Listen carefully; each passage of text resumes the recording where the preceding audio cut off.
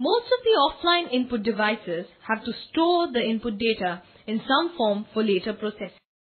The primary storage within a computer, as you know, is of limited size and its contents are volatile. However, large amounts of data can be stored on a permanent basis on secondary or auxiliary storage media. In most computer systems, it is these secondary storage components that supplement the primary storage. The media used for secondary storage usually use magnetic technology and come in different shapes, sizes and storage capacity. The devices for secondary storage are used for both storing as well as retrieving, since the same device head allows both writing as well as reading. This is very similar to the playhead of our audio systems at home that can not only play back pre-recorded music but can also record new music. One can see a clear distinction among secondary storage devices depending on the kind of data access they permit. Sequential access devices and direct access devices. Sequential access devices allow data to be accessed only in a particular sequence. In everyday life, one can consider the regular audio cassette player as a sequential access device. One can play and listen to the fourth song only by playing or fast forwarding the preceding three songs. Similarly, in computing technology, magnetic tapes, the earlier punch cards, and paper tapes are examples of sequential access media. In order to access the ninth record on a tape, one must go through the preceding eight records. Because of the extra time taken for the drive head to get aligned onto the correct record, sequential access devices were relatively slow. Hence, the stored data has tended to be offline from the processor except when loaded on an input device. Unlike sequential access devices, direct access storage devices or DASD allow data to be accessed exactly from the point where it was actually stored irrespective of what data appeared before it. Data retained in these secondary storage devices favors online applications and is available to the processor at all times. Most of these devices use disks as the storage media, examples of which are magnetic disks and optical disks. The disk media are made up of concentric circles called tracks and each track is further logically divided into sectors for creating units of storage. The data is stored along these tracks as tiny invisible polarized spots. Compared with primary storage, the capacity of a DASD is much larger and the cost per bit stored is lower. Having understood the access modes and location, you will be in a better position to appreciate the factors that are responsible for the choice of one storage method over the other. Let us see a simple illustration of this in a pyramidal fashion. As you can see, the higher you go in this pyramid, you get faster access time at a higher cost, but lower storage capacity. While actually using the computer, you may be faced with choices of storage and you can now use the priorities against each factor to make your final selection. Direct access devices seem to have become more popular than sequential devices. The commonly used media that allow direct access are disks like magnetic disks, RAM disks and magnetic bubbles, optical disks or compact disks. By far the most popular medium for direct access secondary storage has been the magnetic disk. All magnetic disks are round metallic or plastic platters coated with a magnetizable recording material. Over the years, these evolved into many different sizes and capacities. Large 14-inch Winchester disk drive, small 9, 8 or 5 and a quarter inch floppy disk, miniature 3 or 3 and a half inch diskettes. The phonograph record had a visible circular continuing groove starting from the larger outer circumference and ending at the smaller inner circumference. No matter what the size, all magnetic disks have invisible concentric grooves that do not touch or connect with each other in any way. These invisible grooves are called tracks, and the tracks are again logically divided into pie-shaped wedges called sectors to form units of storage. The disk is rotated by a motor at a high speed, while the drive head shuttles back and forth to position itself over the required track. In the case of floppy disks, the read-write head comes into actual contact with the disk. Whereas in the case of larger disks, the head flies on a cushion of air a few micro inches above the disk surface. In the case of disk packs or cartridges, where there are two or more disks mounted together, the drive has multiple heads, one for each disk side, attached to multiple access arms. The larger the number of accessible disk surfaces, the larger is the capacity of the storage device. The component, popularly called the hard disk in most PCs, is a Winchester type storage disk. The RAM disk is actually a misnomer because it actually isn't a disk at all and has no moving parts. It is a bank of semiconductor RAM chips used as a simulated disk to replace the mechanical operations of rotating disks. This is perhaps why they are also called silicon disk or pseudo disks. These RAM disks are placed on add-on circuit boards that fit inside the computer's motherboard. Magnetic bubble storage also uses semiconductor chips that have no movable parts. However, unlike the RAM disks, they retain the information even when power is turned off. The main advantage of using RAM disks and magnetic bubble storage is in their access speed. Instead of waiting for a drive head to locate and read the data to be loaded from a physical disk, the data in RAM disks and magnetic bubbles can be accessed directly from the active semiconductor chips. You may be familiar with the prevalence of consumer media such as audio CD-ROMs, VCDs and DVDs in the fields of entertainment. All of these use the optical storage technique which is a combination of light and magnetism technology. This same optical technology has also been used to develop optical disks for computer data storage. These are typically called CD-ROM, compact disk read-only memory, optical storage disks. Optical disks are usually pre-recorded by the firms that manufacture the disk title by burning pits into the thin outer coating. The pit patterns represent the stream of digital data that are used to encode images and sound. Since users do not actually do the writing on the disk, these are primarily read from and hence called ROMs or read-only memory. These disks require optical drives, wherein a beam of laser light, which has no contact with the disk surface, is used to read the data. Optical disks have enormous storage capacities, very fast access time, and very low storage cost. You can pack a 33 volume Encyclopedia Britannica into one optical disk and still have space to store more data. Apart from CD-ROMs, there are optical disks that are designed to be written once and then read many times. These are called WORM or write once, read many systems. For these, the user may use a laser recording device that stores the data patterns by melting, bubbling or in some way deforming the thin outer layer of the disk. Thereafter, the disk can be read as many times as required. Today, the computing industry has seen the introduction of writable CDs. These can be written onto by CD writers that are about the same size as CD reading units and may be external units or units that are attached to the PC on your desktop. As you have seen, the evolution of direct access storage has in many ways overtaken sequential access storage, but can never really completely replace it. Recording techniques till today have used the horizontal recording approach, wherein the writing surface utilized is more. The perpendicular recording approach and other similar advancements will significantly reduce the surface area used and allow for more density of data to be packed into the same surface space. While development will continue towards miniaturization and larger capacities, the storage hierarchies will continue to exist. Faster systems adopting the latest technology will tend to be more costly than slower systems with larger storage capacity.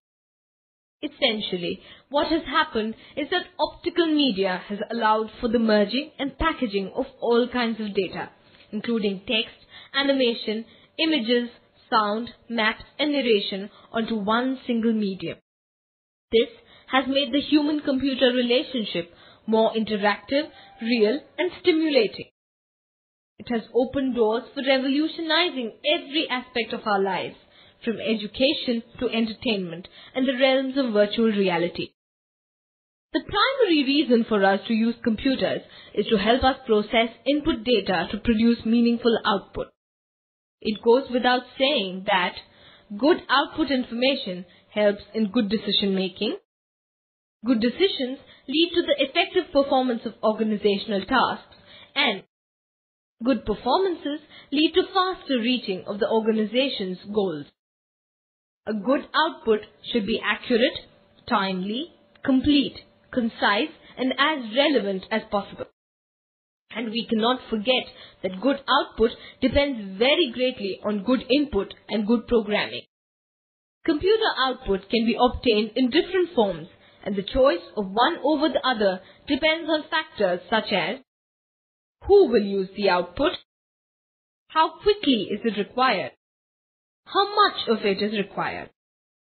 Like input data, Output can also be grouped as internal or external to differentiate between people who will use it. Internal output will typically be used by people within the organization, while external output will be used by those outside the organization. Hence, the need for good computer output cannot be ignored in the light of it promoting better understanding of the issues and achievement of specific goals. Essentially, most computer processing results in any one or more of the following types of output. Displayed output, computer graphics, printed output, filmed output, or voice response. Displayed output on VDTs or PC systems on the desktop is perhaps the most common form of output. This output is displayed in alphanumeric form as letters, numbers, and special characters. The format of most monitors is about 24 or 25 lines with up to 80 characters on a line, thus accommodating about 2000 characters. Most desktop workstations and PC models use the CRT or cathode ray tube screen. There are two kinds of CRT display screens, monochrome and color. In monochrome screens, a single electron gun sends a beam of electrons to trace a regular pattern of horizontal lines in the phosphor that coats the screen surface, which are typically black, green or amber. Colored screens use three separate signals for the colors red, green and blue. Hence, these screens are often called RGB display screens and can support a higher resolution than the monochromes. Other than CRT technology, Liquid crystal display or LCD is also used for display screens, particularly on portable systems like laptops and notebooks. This is the same LCD display technology you may have seen on some digital watches and calculators. The LCD system is much lighter and flatter than the bulky and heavy CRT system. LCD screens use a special liquid that is sandwiched between two plates. While the top plate is clear, the bottom plate is reflective. The molecules in this liquid are generally aligned so that light passes through the bottom surface and reflects out through the top surface. Earlier, LCDs produced dark displays on a silver background, while today many color LCDs are also being developed. We all know that graphical representation of data can be better understood, related to, and retained than textual data. In cases where computer output shows relationships, changes and trends, the significance of it all can get terribly lost under volumes of numeric data. In such cases, graphs, charts, maps, and other visual aids prepared from the statistical data are far more interesting and better absorbed by viewers. It is believed that graphical representations tend to create loss of detailed information. However, the advantages of the visual impact far outweigh this negligible loss. Apart from graphic representations, drawing packages also produce a graphic image output, complete with the vibrancy of colors. Most graphic outputs are visible on the screens. Permanent or hard copies can also be maintained by using the following graphics-based output devices. Printers, plotters, and camera photographs. A plotter releases ink over the paper it traverses based on the signals it receives from the computer. Plotters use either of the pen or inkjet approaches. Pen plotters generally come in two kinds. Drum plotters, in which a paper is placed over a drum that rotates back and forth to produce an up and down motion while the pen plots. Flatbed plotter, in which the paper doesn't move and the mechanism holding the pen provides all the motion. Apart from pen plotters, there are inkjet plotters, capable of producing large drawings containing many colors. After display screens, printers are the most popular output devices. They allow us to retain a printed and permanent copy of the output, also called a hard copy. There are broad classifications of printers based on how they print. You can have a division of character printers, line printers and page printers, depending on whether they print a character, line or page at a time. You can also divide them on the basis of impact and non-impact printers, depending on whether the print head makes or does not make an impact on the paper. Impact printers work like a typewriter by pressing a typeface against an inked ribbon which makes the mark on the paper. However, for simple understanding, we have discussed each printer individually and highlighted the mode, speed and cost aspects of each. Low speed character printer, low speed page printers, high speed impact line printers, high-speed non-impact page printers. The daisy wheel printer is a character printer of the impact kind.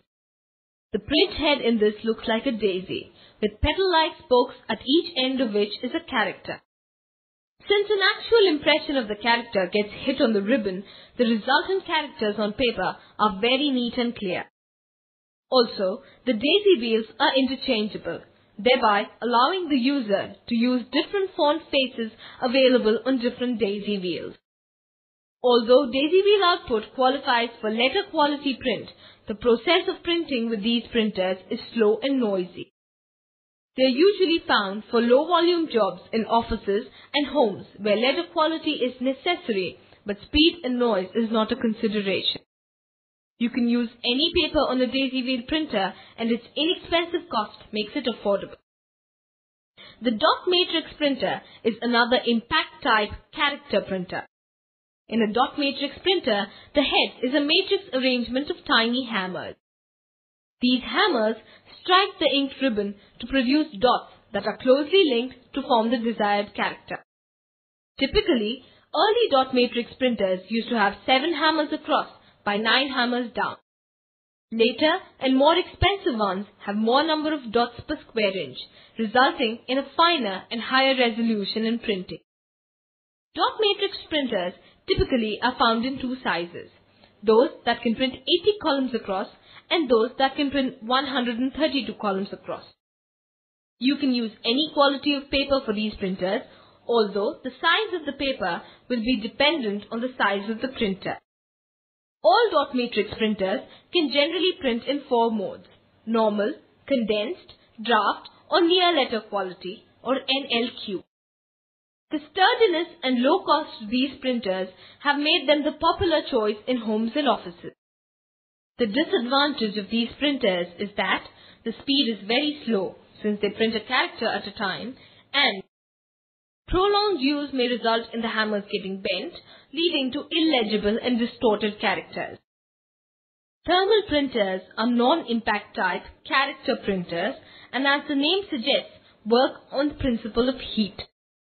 They use a heat-sensitive paper and the print head burns the shape of the characters onto the paper without coming into contact with it. These are silent printers that have been found useful in hospitals and key areas of corporate activity. The output quality is very neat, although extra care has to be taken to maintain the paper used for printing. The material used and the technology of printing make them relatively expensive for common use. Inkjet printers are also non-impact character printers that work on the principle of electrostatic fields. The print head in these printers is fitted with a nozzle that fires a stream of electrically charged ink drops in the shape of a character onto the paper. One can use any quality of paper on these printers.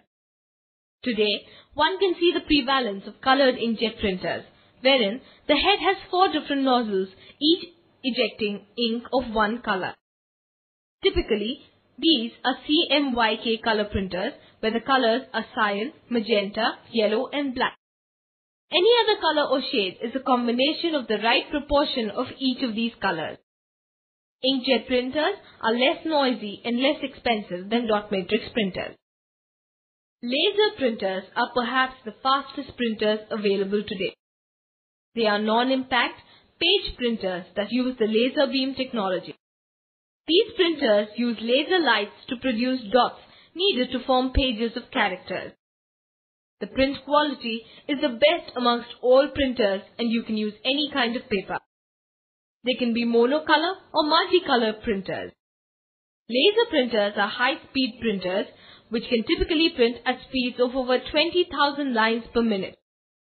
Other high-speed page printers that can be compared to the laser printer are those that work on principles of xerography, electronics and other technology. They are expensive and very useful in high volume print jobs requiring letter quality. The high cost is leveled out by factors such as speed, volume and quality of printing which have made these printers economical and commonplace in universities, corporate houses, advertising and media firms. No matter what printer is used, every printer has its own memory into which it receives data from the processor for printing. However, the size of this memory versus that of the processor memory is not the same and hence print jobs, particularly in the line and character type of printers, are very slow. There are times when the computer appears to take its own sweet time to complete a print job before allowing you to perform any other computing task.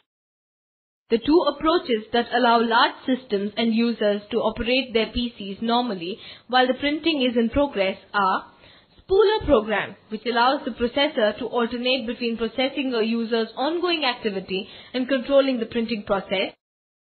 Printer buffer, which is an additional storage that complements the printer's memory.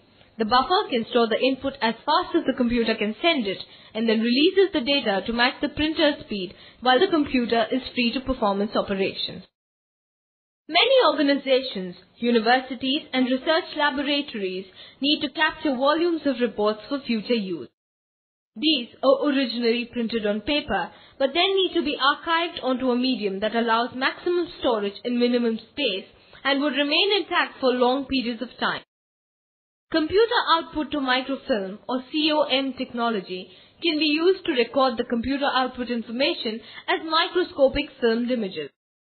In some cases, the computer output may be read onto a magnetic tape and then, in an offline operation, entered onto the film by a microfilm recorder.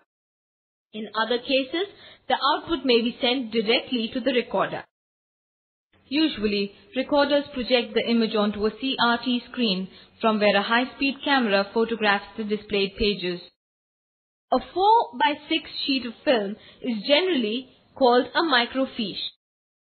A microfiche storage capacity ranges from 270 page-sized images in common microfiches to 1000 standard page images in an ultrafiche system.